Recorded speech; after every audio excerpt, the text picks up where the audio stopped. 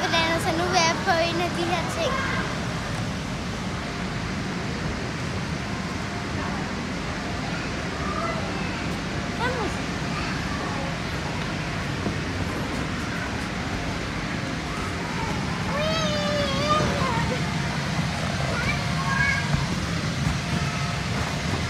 Og nu vil jeg